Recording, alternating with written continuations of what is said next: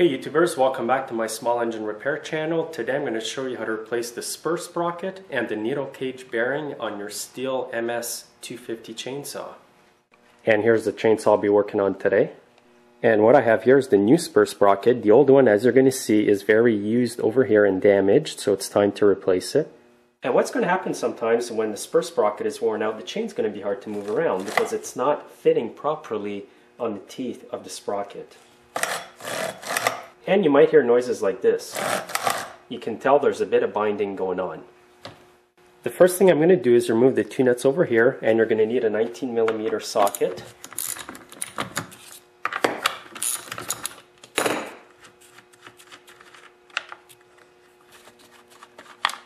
Now I'll just pop the cover off. Now I'm going to flip the saw on its side like this. Now I'll remove the bar just by lifting it up like this and just pulling it right out. And here's the spur sprocket on the saw now. You can see it's got damage over here or wear. And here's a closer view of it. So when it's worn out like this, you know it's time to replace it. And what I have now is the new one just to compare it to the old one so you can see the difference.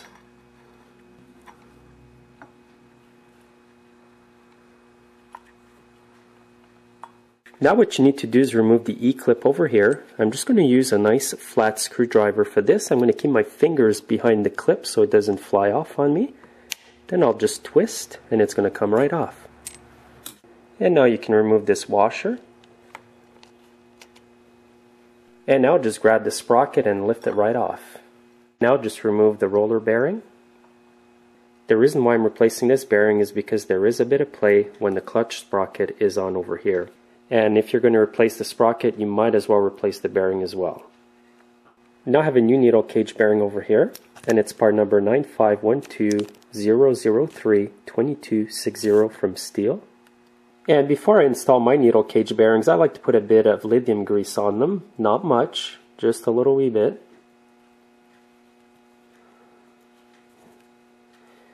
You can also just put a little bit inside as well, and then stick it on the shaft. You don't want to put too much grease because it can go in the clutch here and cause slippage. Now I'm going to install the new spur sprocket. The part number for the sprocket I'm using today is 1123-640-2074 and this chainsaw has a dot 325 pitch and you have to make sure you get an identical replacement sprocket. Some have a 3 8 pitch and some have a 325 pitch. So make sure that you match up the exact sprocket when you go to get a new part. Now another important feature of this sprocket is you're going to see a small notch over here. Now this little notch is to go in the pin that turns the worm gear for the oiler pump. And if you look on top of the sprocket, you're going to see a little notch over here. That's to tell you that this notch here is right here underneath the sprocket. So what you need to do is look inside here on the outer part of the clutch down inside behind it for a little pin. And here's the pin right there. You can see it protruding. So now when you install the clutch drum, you want to make sure that you line up the notch right over the pin. The pin's going to go right inside over here. So when the clutch turns, it's going to make the oiler pump work. So now I'm just going to line everything up. I'm going to make sure that the notch and the pin line up as well here.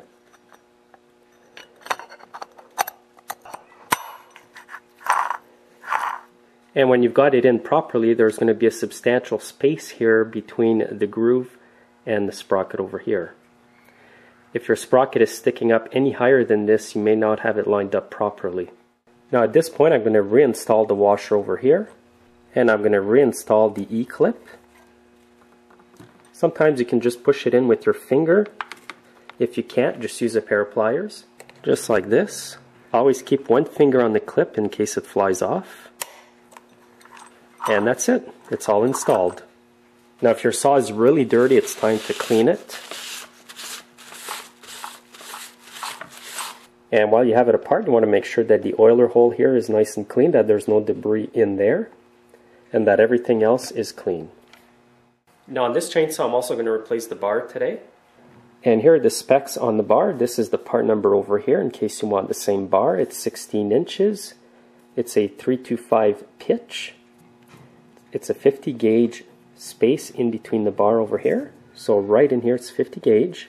Now I'm just going to put the chain on the bar like this, wrap it all around.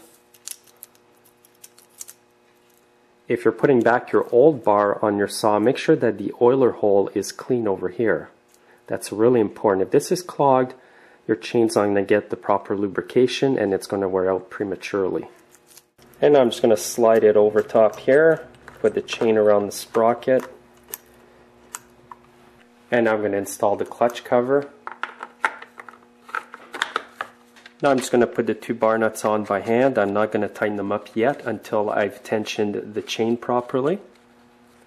Now I'm just going to put the saw back upright. As you can see the chain is quite loose so I'm going to need to adjust it by using the screw in between the two nuts over here.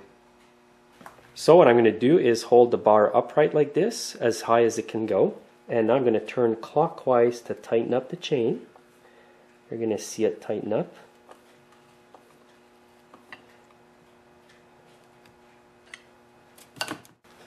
And this is about how much tension I'm going to leave on the chain. So now what I'm going to do is hold the bar up again and tighten up the two nuts.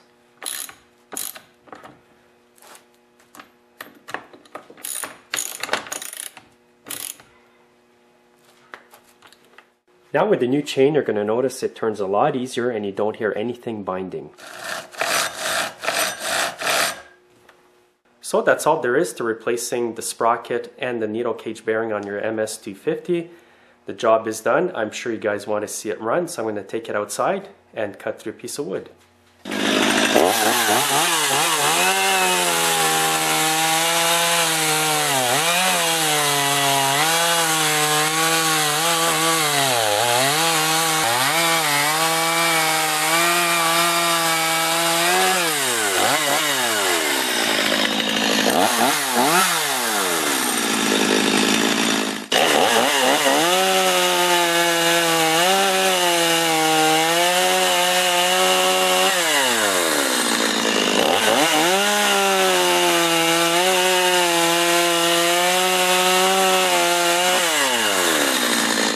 So guys, thanks for watching and we'll see you in my next video.